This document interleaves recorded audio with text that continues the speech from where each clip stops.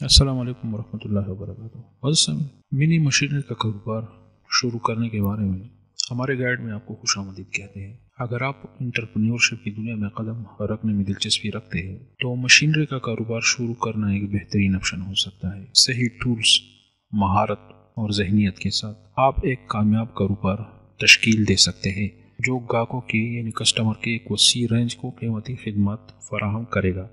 पहले जो है एक निच को आप मुंतखब करें। यानी मिनी मशीनरी का कारोबार शुरू करने का पहला कदम अपने। इसका मतलब यह है कि मखसूस किस्म की मशीनरी की निशानदही करना, जिसमें आप महारत हासिल करेंगे। कि आप हेवी ड्यूटी कंस्ट्रक्शन मशीनरी पर तवज्जो मरकूज करेंगे? या ज़मीन की तजयन या बागबानी के काम आने वाली मशीनें, उसको आप लेंगे। इससे आपको ये तयन करने में मदद मिलेगी कि आपको किस किस्म की मशीनरी हासिल करने की ज़रूरत है, और साथ ही आप किस किस्म की क्लाइंट्स को जो है वो टारगेट करेंगे। फिर उसके बाद जो है आप एक बिज़नेस प्लान बनाए। यानी एक बार जब आप शनाख्त कर लें कि भाई ये काम करना है, ये मशीनरी लेनी है तो ये कारोबारी मनसूबे बनाने का फिर वक्त आ गया।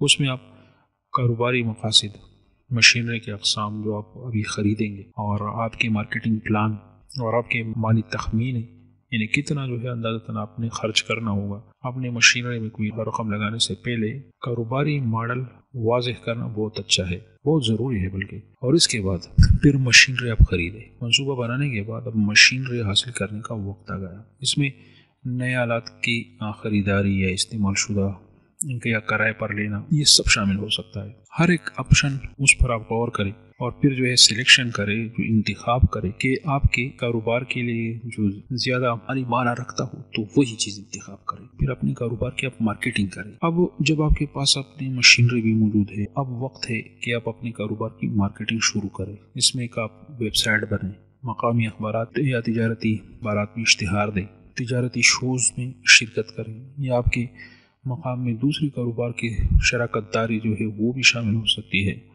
मकसद मुमकिन ग्राहकों तक पहुँचना और अपनी सनत में एक मज़बूत साख बनाना आपका मकसद होगा। फिर जो है, उसके बाद आखिर में बेहतरीन कस्टमर सर्विस फराहम करना बहुत ज़रूरी है। इसका मतलब है, गाहक के पूछ गछ के लिए जवाबदेह होना, पूरी सर्विस फराहम करना और मुकाबला कीमतों में अपने मुकाबले आपके होंगे तो उनसे मुकाबला करना होगा। गाहक को मुतमिन करना, जब गाहक आपसे खुश होंगे, वो आपके लिए जो है एक इश्तहार होंगे और जिससे आपके कारोबार में बढ़ने में, आगे बढ़ने में मदद मिलेगी। इन्हें अपने इस मुख्तसर बिज़नेस आइडिया का एक खुलासा मैं इस तरह आपके सामने पेश करता हूँ कि मिनी मशीनरी का कारोबार शुरू करना एक मुनाफा बख्श और पैदामंद मनसूबा हो सकता है। सही टूल्स महारत और अज़म के साथ आप एक कामयाब कारोबार तश्कील दे सकते हैं, जो सनतों के वसी रेंज में गाहक्स को गाहकों को, कस्टमरों को कीमती खिदमत फराहम करता है।